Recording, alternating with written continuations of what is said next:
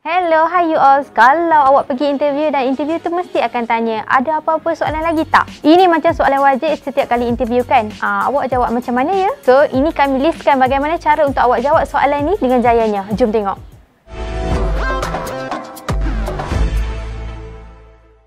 Okey, okey. Awak ada apa-apa soalan tak? Uh...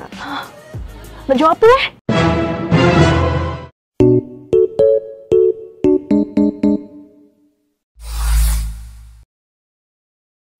Okey, uh, saya ada nak tanya, kalau saya ditawarkan ke pekerjaan ni, dekat mana saya perlu laporkan diri dan saya akan bekerja dengan siapa eh?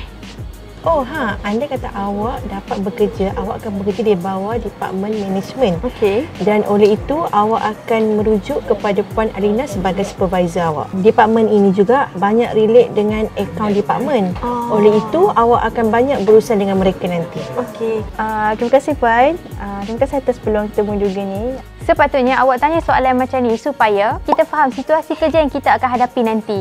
Interviewer pula akan melihat ketersediaan kita untuk bekerja dalam kumpulan dan nanti dia akan tengok awak boleh bekerja sama dengan mereka ataupun tak. Uh, ada ada. Kalau lah kata saya dapat kerja ni, apa yang company ni akan uh, expect daripada staff eh? Uh, as in staff yang bekerja selama 6 ke 12 bulan lah. Mungkin dari segi KPI ke? Oh ya, yang tu kami mengharapkan staf daripada Department Kreatif hmm. akan meningkatkan produktiviti kerja mereka ke tahap yang lebih baik. Selain itu, hmm. performance kerja haruslah mencapai at least 70% hmm. dan uh, company ini juga akan memberi insentif jika hmm. design uh, awak mencapai target views yang ditetapkan.